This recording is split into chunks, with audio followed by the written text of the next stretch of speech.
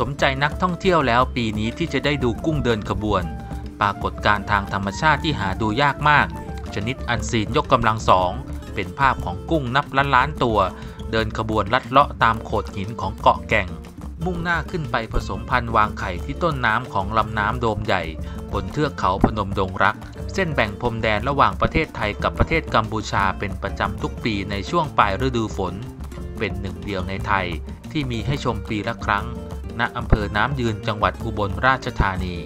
ปีนี้ศูนย์ศึกษาธรรมชาติและสัตว์ป่าอุบลราชธานี เปิดให้นักท่องเที่ยวเข้าชมได้ระหว่างวันที่1ถึง30 กันยายนนี้ หลังปิดมานาน 2 ปี เพราะปัญหาการระบาดของโควิด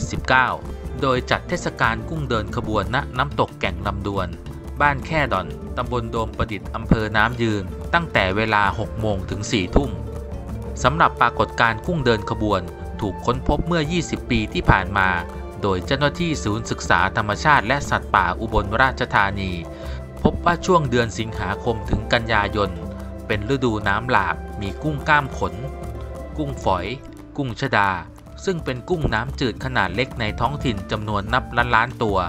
พากันเดินลัดเลาะตามโขดหินของเกาะแก่ง เหตุที่กุ้งต้องเดินเป็นแถวไปตามแก่งหิน เพื่อหลบไม่ให้กระแสน้ำที่ไหลเชี่ยว พัดเอาตัวกุ้งลอยลงสู่เบื้องล่างของลำน้ำ ส่วนจำนวนกุ้งจะมากหรือน้อย ขึ้นอยู่กับปัจจัยทางธรรมชาติ รวมทั้งปริมาณน้ำฝนที่ตกลงมา หากช่วงไหนฝนตกมาก มีน้ำไหลแรง เป็นสัญลักษณ์ให้กุ้งรู้ว่า ถึงช่วงของการผสมพันธุ์วางไข่ ก็จะพากันเดินขึ้นไปที่ต้นน้ำและต้องพากันมาเดินบนลานหิน เพื่อหนีกระแสน้ำที่ไหลเชี่ยว ส่วนช่วงที่มีน้ำน้อยกระแสน้ำไม่แรง กุ้งก็จะไม่พากันเดินขึ้นมาบนลานหิน จึงอาจไม่เห็นกุ้งเดินขบวน ของศูนย์ศึกษาธรรมชาติและสัตว์ป่าอุบลราชธานีนะคะ ก็เปิดให้เข้าชมนะคะ ให้นักท่องเที่ยวเข้ามาชมได้ 1-30 กันยายนนะคะของทุกๆปีนะคะ ซึ่ง 2 ปีที่ผ่านมาก็ห่างหายไปเนื่องจากสถานการณ์โควิดนะคะ รุนแรงมากเราก็เลยปิดแหล่งท่องเที่ยวในช่วง เทศกาลกุ้งเดินขบวน